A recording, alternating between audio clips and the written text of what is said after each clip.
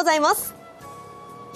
それでは今日のお天気を見ていきたいと思います。まずは皆さんから頂いているリポートから見ていきましょう。北海道名寄市のノースマンさんから頂いたリポートです。ありがとうございます。今朝も快晴です。乾燥しているのでゴリが舞っているのか？霞がかった空です。今日の予報最高気温は28度。暑い一日になりそうです。といただきました。ありがとうございます。すごく綺麗な青空そして太陽が見えているのがわかります。影はっきり報告体感ちょうどいいといただいています。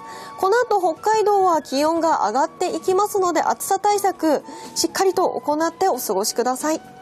それでは全国のお天気アイコンで確認していきます。全国のお天気をお伝えします。まずは西日本です、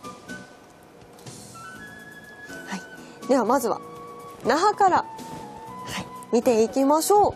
那覇は今日も雨が降りやすいお天気となっています午前中ほど雨が降りやすいですが午後は日差しも届くことがありそうです。そして西日本そして東日本北日本広いエリアで日差しが届きます、まあ、関東の辺りでは少し雲が広がりやすいかもしれませんが今日は一日を通して過ごしやすい体感となりそうです。そして北海道では晴れ一つのアイコンついています。気温も上昇しますので暑さ対策忘れずに行ってお過ごしください。水分補給もしっかりと行ってください。以上全国のお天気をお伝えしました。